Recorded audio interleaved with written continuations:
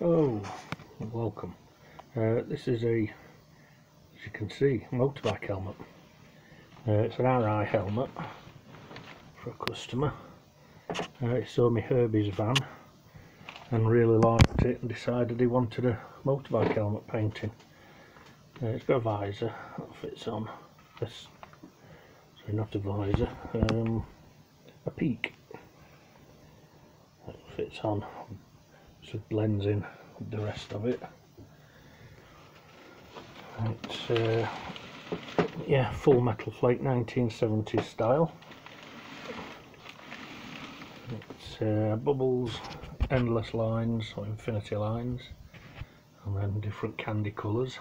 Yeah, that's uh, see we've got a green stripe on top blue oranges purple and red we wanted number 78 on. So we've put number 78 in. Just ghosty slighted in.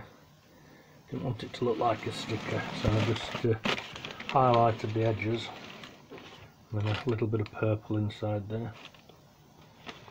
Oh no not come out too bad. Nice and shiny. It's a few uh, in the summer when that's shining there's going to be a few blinded people. It's uh, a bit of torchlight and you can see the glitteriness.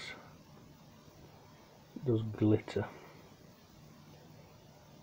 Yeah full metal flake. Yeah there you go. But, uh, thanks for watching